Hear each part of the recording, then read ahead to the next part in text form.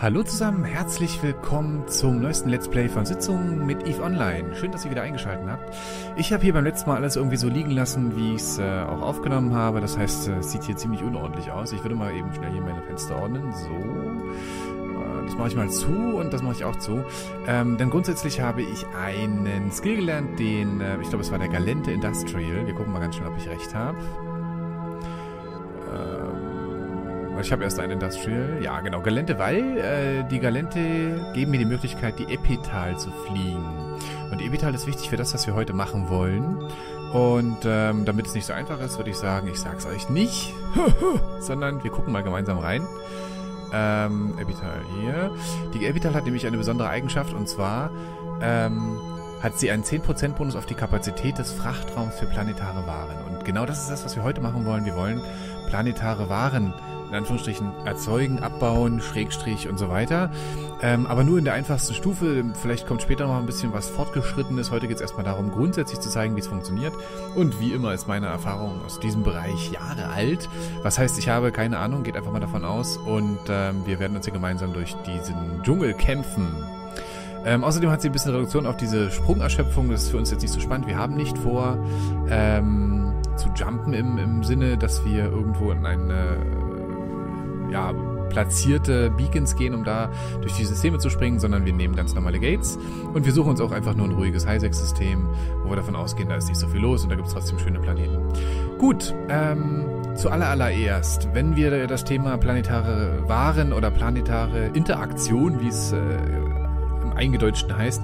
Wenn wir das machen wollen, dann brauchen wir also allererst ein Command Center. Und das ist meines Wissens auch das einzige Produkt, in Anführungsstrichen, was wir mitnehmen müssen.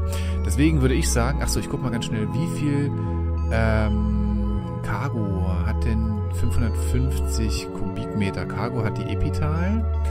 Und was kostet ein Command, äh, wie, wie groß ist ein Command Center? Zum Beispiel Baron, das ist ein sehr verbreiteter Planetentyp, den kann man ruhig nehmen. 500 Kubikmeter. Das ist ja ein Zufall. Das ist ja quasi wie geschmiert. Dann nehmen wir den doch. Kostet 100.000 ISK, ist also gar nicht teuer. Und ist äh, nebenbei bemerkt eine ziemlich geile Möglichkeit, um äh, passiv ISK zu verdienen. Also falls euch davon noch keiner was erzählt hat oder jemand sagt, das lohnt sich nicht. Eigentlich Quark, lohnt sich sehr wohl. Man muss nur ein bisschen gucken, ähm, dass man in einem guten Sicherheitsstatus seine planetare Interaktion betreibt, dann ist es nämlich auch kein Problem. So, wie benennen wir das Schiff? Wir nennen das Schiff, ähm, ah, wie nennen wir das Schiff? Äh, Fracht. Äh, ja, äh, Frachtnuckelpinne. Das finde ich ein schöner Name für so ein Schiff. So soll es heißen. Und ähm, setzen uns gleich mal hier rein und packen unser Command Center Upgrade hier rein. Bei Baron Command Center. Ich will mal Update sagen. Command Center. So, weil What? Okay, dann heißt das wohl, dass ich hier jetzt erstmal noch so ein paar Expanded Cargo Holz brauche, weil irgendwie habe ich mich scheinbar verlesen. Ähm, ja, was für ein Quatsch. 1000 Kubikmeter ist das Ding groß. Ähm, gut, dann würde ich sagen, gehen wir mal aufs Fitting. Wir haben hier vier Low-Slots, äh, vier Mate-Slots und ein bisschen Rigs. Und ich würde sagen, wir müssen zuerst mal die Low-Slots aufpusten mit ähm, Expanded Cargo Holz. Äh, da. Und ich vermute, dass wir vielleicht, wenn wir Glück haben, gerade so die 1 verwenden können. Ja, aber wahrscheinlich die 2 noch nicht. Doch. Okay, dann nehmen wir vielleicht sogar gleich die 2. Die ist natürlich ein bisschen teurer, aber ich habe, muss ich gestehen, mein äh, Konto ein bisschen aufgefrischt, weil ich gemerkt habe, okay, hier schnell ein paar Sachen zeigen, geht nicht ohne Geld. So, ähm, ich würde mal, äh, ich gucke mal in die Statistiken. Was macht denn die 2? Die 2 äh, erhöht den Frachtraumbonus. Achso, 27%. Das heißt, danach haben wir noch lange keine 1000. Ähm, hat natürlich ein paar Nachteile auch, aber soll uns jetzt nicht interessieren. Wir fliegen durch ein Highsec mit dem Command Center im Bauch. Das wäre ein starkes Stück. Also nehmen mal zwei. Ähm, und ballern die aufs Schiff. Wo ist es hier? Inaktives Schiff einbauen. Inaktives Schiff einbauen. Jetzt gucken wir uns hier mal den ähm, Cargo holt an. Oder eigentlich sitzen wir ja drin. Ja, aber ich noch nicht ganz. Okay, dann müssen wir leider noch einen kaufen. Ich meine, das ist nicht schön. Man macht das eigentlich nicht, dieses Module-Stacking. Ähm, das hat halt Nachteile. A, wird der Bonus nicht jedes Mal in voller Höhe gegeben, normalerweise, weil da gibt es so Stacking-Penalties, wobei das hier in dem Fall, glaube ich, nicht der Fall ist. Aber die Nachteile ziehen natürlich auch voll. Ne? Also in dem Moment heißt es, wir kriegen ähm, ziemlichen Abzug der Struktur Hitpoints und wir werden auch mal eben schnell um äh, ja, gut 60%, 70% ausgebremst, weil ja die minus 18% immer wieder abgezogen werden und wir damit ähm, ja, sehr, sehr viel Geschwindigkeit verlieren. Ähm, aber so soll es sein, wir müssen ja unser Baron Command Center bewegen. So, jetzt können wir, ähm, weil wir natürlich unglaublich clever sind, würde ich sagen, ich meine, es ist ein unausgewogenes Fit, ich weiß es, aber ähm, ihr werdet mir das vielleicht nachsehen.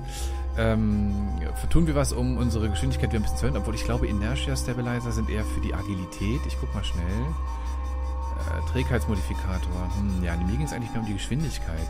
Gucken wir mal gemeinsam hier in das Einkaufsmenü. Schiffsausrüstung. Ähm, ach so, vielleicht können wir mal die Inertia Stabs, so schlecht waren die ja, glaube ich, nicht einfach vom Thema her. Ähm, einfach mal aufgeklappt lassen. Wo sind sie? Da sind sie. Und schließen das, dann müsst ihr theoretisch das Menü auch auflassen. Ja, das hat ja super geklappt. Hm, also früher konnte man... Oh, Multibuy ist da. Super. Früher konnte man auch einfach das so finden. Aber das machen wir jetzt nicht. So Module... Ähm, ja... Turbolader. Oh Gott, Deutsch, das ist so geil. Overdrive Injector System. Das sieht nicht schlecht aus. Können wir aber nicht nehmen. Okay, nee, dann geht das natürlich nicht. Ähm, nee. Okay, der würde mir jetzt den Frachtraum wieder wegnehmen. Das bringt mir also 0, gar nichts. Ist das hier auch so hoch? 15%, aber ist auch viel zu viel. Da hätte ich keinen Platz mehr für meinen Baron Command Center. Hm, so können wir das nicht machen. So können wir das nicht machen. Äh, dann würde ich sagen, wir machen folgendes. Wir gehen jetzt erstmal hier äh, auf den Micro Warp Drive. Jetzt weiß ich gar nicht genau. Ich nehme an den Medium. Ah, das sieht man bestimmt. Das sieht man bestimmt hier in der Schiffsinfo. Ja, das stimmt. Die sollten wir unbedingt noch versichern. Also bitte mit dran denken, versichern. So, ähm, Ausrüstung. Äh, mittelgroß. Also Medium. Das müssten dann diese 50 MN sein. Ähm, und weil wir äh, absolut anspruchslos sind, nehmen wir hier einfach den Tag 1. Ja, aber okay. Nee, wir gucken mal. Ähm, 50 MN. Nee, wir gucken nicht. Wir nehmen ihn einfach. Das dauert jetzt so lange. Wir sind eigentlich schon wieder viel länger hier beschäftigt mit Schiff zusammenbauen. Es ist immer das gleiche, ihr merkt es schon. Ähm, genau, haben wir den Micro Warp Drive. Jetzt würde ich mal ganz kurz gucken, wie hier unsere Verteidigung aussieht. Wir haben Schild, oh, relativ gute Schildresistenzen und dann noch ein bisschen Armor. Also kann man scheinbar beides tun. Hat die Boni auf einen bestimmten Tanktyp? Ist halt Galente. Ich glaube, die sind recht durchmischt. Nee, hatte sie nicht. Hm, wie ist es denn mit den absoluten Werten? Panzerung, Schild. Also eigentlich ist der Armor stärker. Ja, dann lohnt sich wahrscheinlich auch den Armor zu verstärken. Gut, dann gehen wir hier mal auf ähm, Explosiv. Und die anderen beiden hier. Ähm, Thermal und äh, Kinetik. Dass wir die dreimal stärken. Der EM ist eigentlich schon relativ gut im Vergleich. Äh, machen wir das schnell. So, das heißt Trumpf und Panzerung. Panzerung härter ist besser, glaube ich. Ähm, Reparatursysteme, da streikt wahrscheinlich unser... Genau, hier hätten wir dann den Armor Explosive Partner. Können wir den verwenden? Können wir den verwenden? Ähm, äh, Voraussetzungen? Ja, können wir. Gut, super. Äh, dann nehmen wir den noch mit. Also ich weiß, viele werden sich jetzt von dem Bildschirm die Hände über den Kopf zusammenschlagen, aber das ist halt, um Gottes Willen, was ist das denn? Ähm, ist aber der günstigste Preis. Ich glaube, das ist Quatsch, oder? Ähm, Armor Explosive Partner 1. Ach, machst du das jetzt wieder zu? Armor Explosive. Nee, was hatte ich jetzt gekauft? Armor Explosive. Äh. Na gut, es, sei es, sei es wie es sei. Ich bin erstmal gut. Wir bauen den erstmal ein. Irgendwie habe ich mich hier. Hä? Können Sie daraus eine Frage formulieren? Was? Ich habe hier schon Hardener. Ähm, wahrscheinlich habe ich ihn mal äh, zu einem anderen Zeitpunkt gekauft. Ist aber natürlich super Sache. Es gibt keine freien Slots. Was denn bieten? Ach, das sind... Ah, shit, das sind keine... Ah, die Schildmodule sind ja Med-Slots. Die Armor sind ja Low-Slots. Hm. Okay, ne, hat sich das Thema schon erledigt eigentlich. Ähm, da können wir natürlich jetzt noch einen Weber oder sowas draufbauen, aber ansonsten fällt mir für Metzos jetzt auch nicht so richtig ein. Oder halt Schildmodule.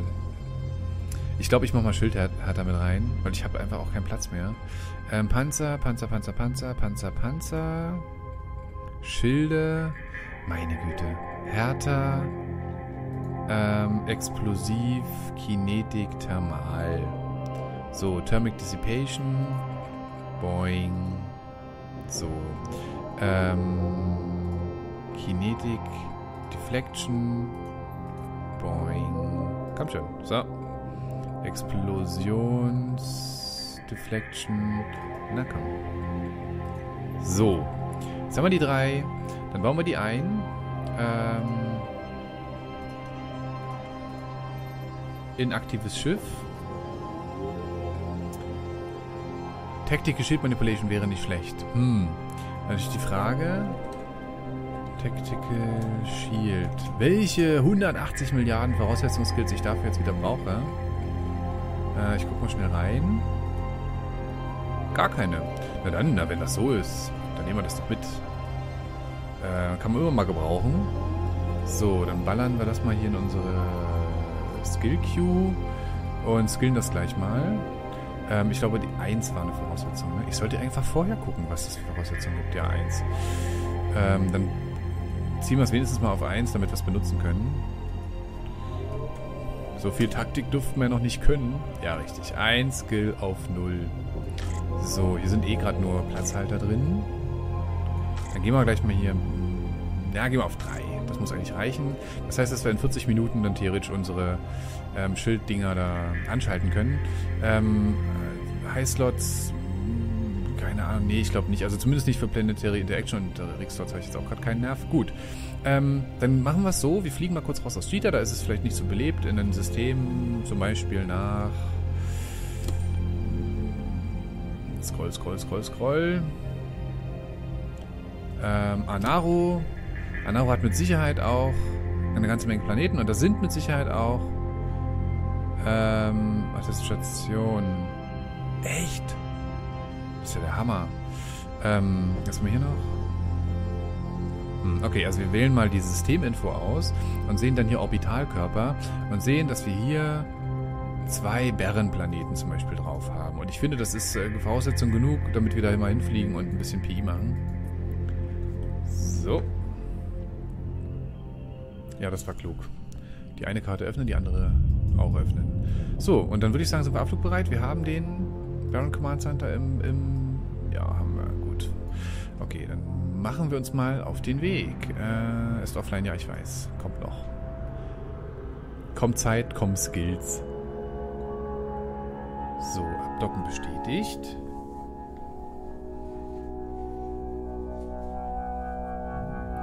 Und da sind wir auch schon wieder. Oh, hier fliegt aber mal eben schnell eine, ich glaube, es ist doch eine Tornado oder so, vorbei. Fluffy 648, Verbrecher sind hier nicht willkommen. Ähm, nicht wundern, wenn hier alles ein bisschen langsamer lädt. Äh, ich bin gerade noch äh, anderweitig im Internet aktiv mit einem Upload. Ähm, deswegen kann sich das hier ein bisschen ziehen. So, bevor wir lange rumreden, würde ich sagen, wir gehen mal aus dem Hexenkessel hier raus und fliegen Richtung Nuvoleilen. Nicht, dass hier noch einer auf die Idee kommt, ich wäre hier so ein Juicy Target. Habe doch nur ein Baron Command Center im Gepäck. So, das können wir uns ja unterwegs mal angucken. Also wir haben hier Planetentyp-Einschränkung, ist klar, ne? Planet Baron. Ähm, 1000 Kubikmeter Volumen. Der hat den Warp-Antrieb schon aktiv, oder? Oh mein Gott, Industrials sind echt der Hammer. Also hier sieht man jetzt quasi auch mal den Unterschied zwischen unseren kleinen Frigates und äh, so, einer, so einem Industrial, so einem Industrieschiff. Das ist schon nicht ganz ohne. So, und äh, ganz interessant sind hier auch die Stromnetzleistung und die CPU-Leistung. Das ist nämlich in dem Fall jetzt von diesem Baron Command Center die Fähigkeit, ähm, Leitungen und Gebäude zu versorgen mit ähm, Ressourcen. Also einmal mit Strom und dann mit CPU. Ähm, das bedeutet, je höher diese Werte sind, desto mehr Gebäude kann ich bauen, desto höher ist mein Ertrag auch. Und desto länger können auch die Leitungen sein, dann bin ich halt... Ähm, in der Lage, auch ein bisschen den Feldern zu folgen, weil beim Abbau von Planetenressourcen, da wandern auch die Ressourcenfelder immer mal ein bisschen hin und her, äh, sodass ich ab und zu mal umsetzen muss und das kann dann irgendwann dazu führen, ähm, dass die Sachen, die ich einmalig gesetzt habe, wenn ich nicht bewege, dass die kaum noch was abbauen. Ich gehe eh davon aus, dass hier im Highsec gerade im Cheetah rum alle möglichen Planeten abgegrast sind, deswegen werden wir hier sowieso kein super Megasystem finden. Aber wir können zumindest mal gucken, ähm, wie es grundsätzlich funktioniert. Und ihr fliegt dann einfach ins Lowsec und Nullsec, um es dann dort auszuprobieren. Da ist es nämlich am lohnenswertesten. Aber bevor wir jetzt hier weitermachen, ähm, würde ich erstmal meiner Epital beim äh, Warpen zugucken und euch auf das nächste Mal vertrösten, denn diese Session ist zu Ende. Das heißt, ich bedanke mich dafür, dass ihr heute zugeschaut habt und äh, freue mich drauf, wenn ihr das nächste Mal wieder dabei seid, wenn es heißt Sitzung, spielt Eve Online im Let's Play. Bis dahin alles Gute und ciao.